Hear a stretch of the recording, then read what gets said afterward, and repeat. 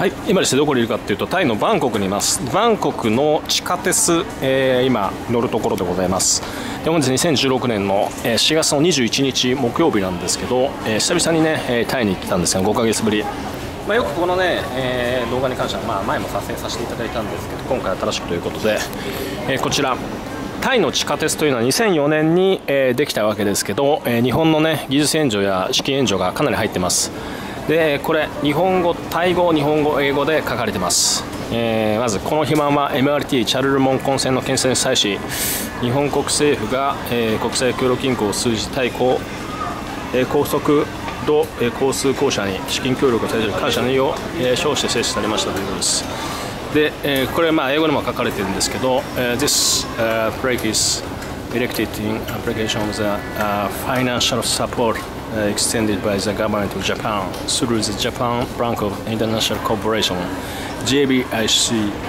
uh, to the Mass Rapid Transit Authority of Thailand for the construction of the MRT、uh, Chalarmon Line まあこんな感じで英語でも書かれてるんですけどねまあこんな感じで、えー、このように感謝の日というのが設けられてますで地下鉄が向こうにあるんですけどね、えーまあこんな感じです。で現地の人々もねかなり感謝しますこれに関してはね。なのでこのように、え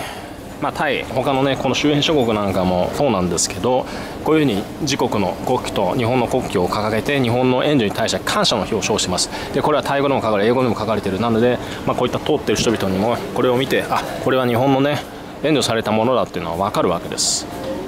からこういったもの例えば中国、韓国今までね日本がかなり援助してきたわけですけど、え、それら国々っていうのはま反日なわけですけど、え、こういった感謝の日はない。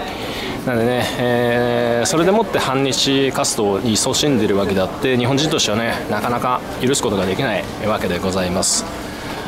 あるいは政府ももうちょっとこういうふうにね、えー、こういう日を作って日本人に感謝するようなね、えー、方に持っていけばもっと国として日本と仲良くやっていけるのかなって感じはするんですけどね。